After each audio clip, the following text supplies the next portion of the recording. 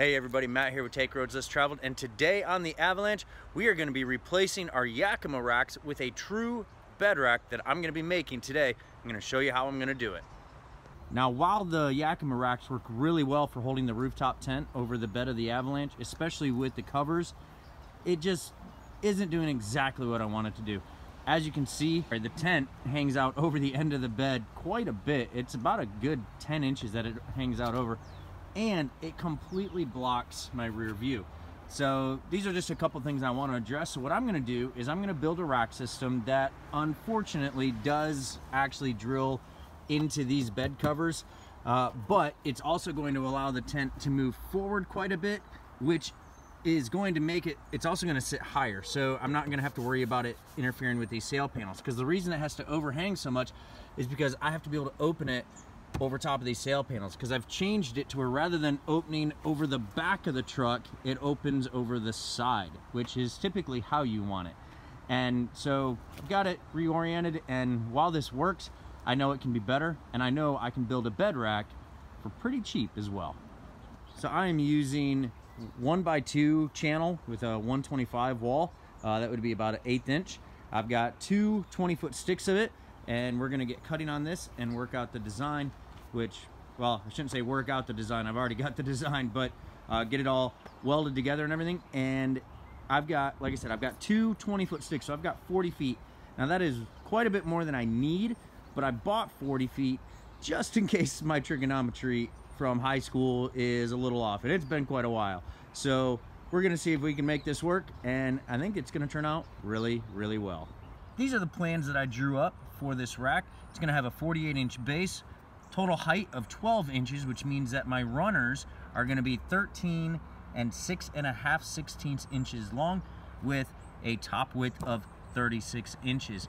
Uh, you can see I've done a little bit of my trig here so that I can figure out exactly what my bottom angle is gonna be here, what my top angle is gonna be here, and exactly how much I need to notch out of this channel in order to be able to create the angles that I need. And uh, when you haven't done trigonometry since high school, it's always good to do a little bit of a refresher. So I have to do a total cut length of 62 and 13 16 inches out of this piece. And let's get to it.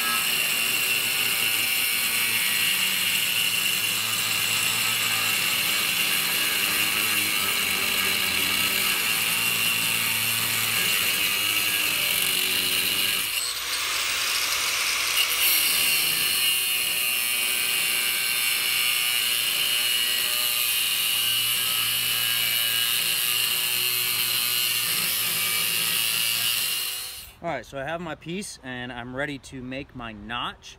So I've measured 13 and six and a half sixteenths. And the way I did that was I just took my tape measure from the end and counted my, got to 13 and then one, two, three, four, five, six sixteenths and then right halfway between the six and seven sixteenths mark, I made my mark. So that gave me my six and a half. Now, to get my angle, what I'm going to do is, here's the top of my channel, here's the bottom, so I'm gonna notch it this direction. What I'm gonna do is I'm gonna put my pivot point of my T-square right here. And all along here, I have my angles, my, my degrees.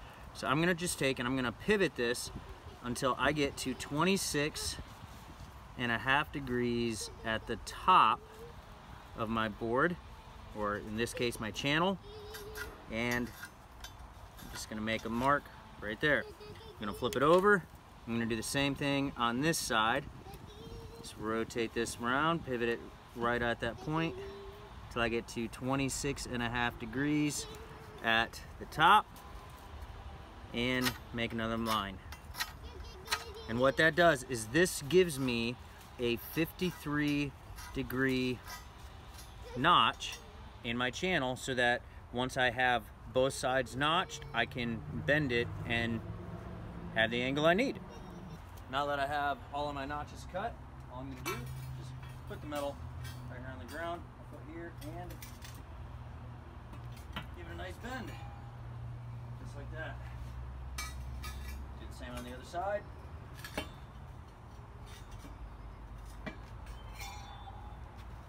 Now I have my upright. I'm just gonna take and weld these joints.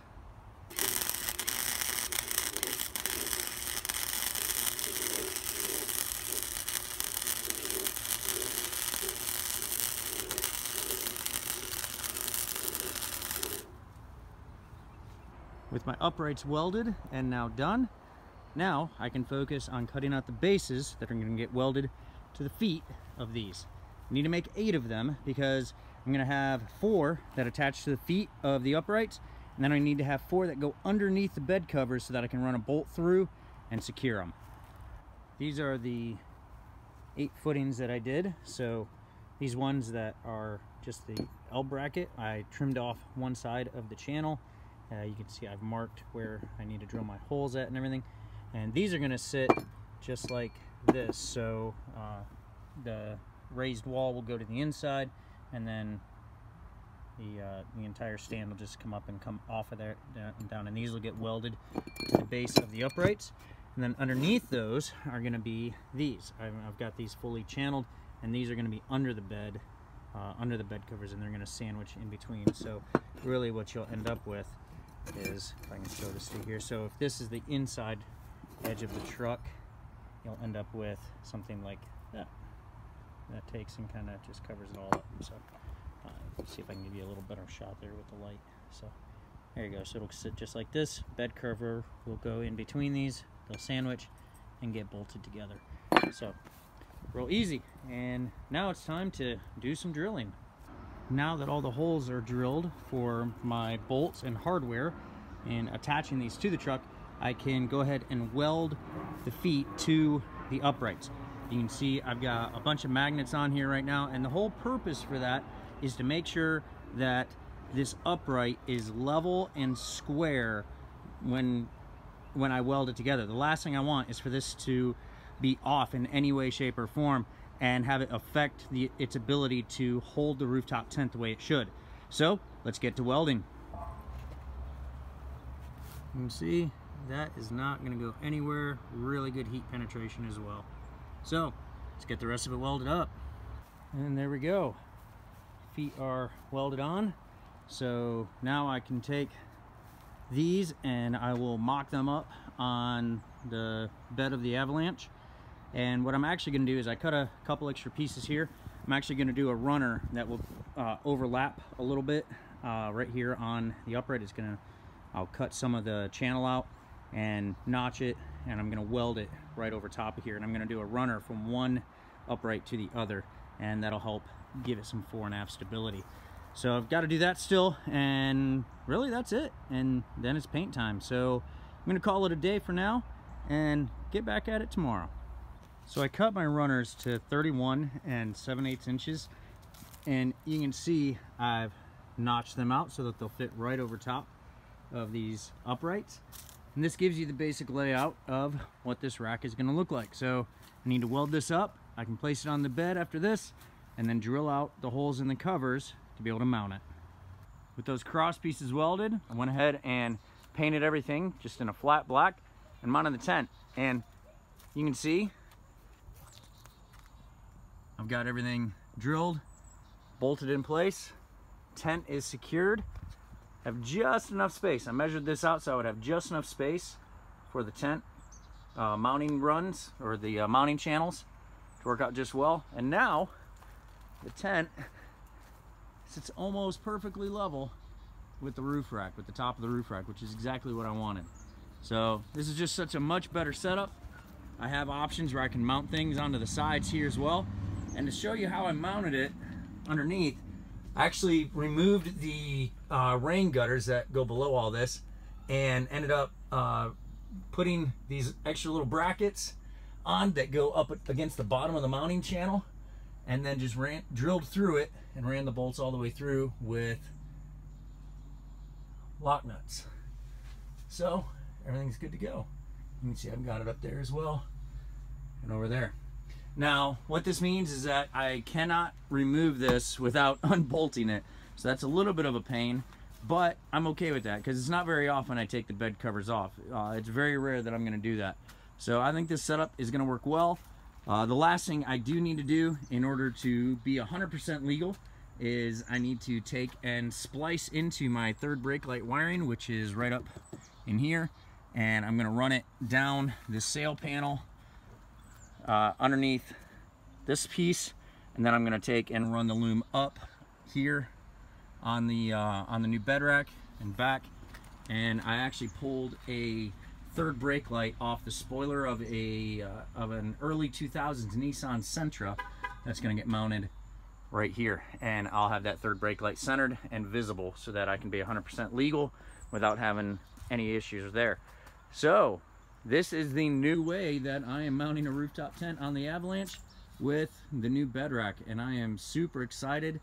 All in it cost me about $120. That was uh, for more steel than I actually needed, uh, but I bought extra steel just in case I messed up on anything.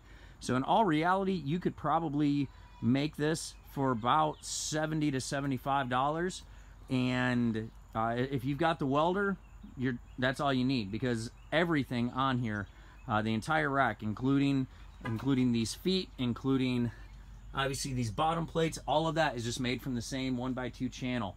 And like I said uh, with 20 feet of one by two channel you can make this exact same bed rack exactly how I have it.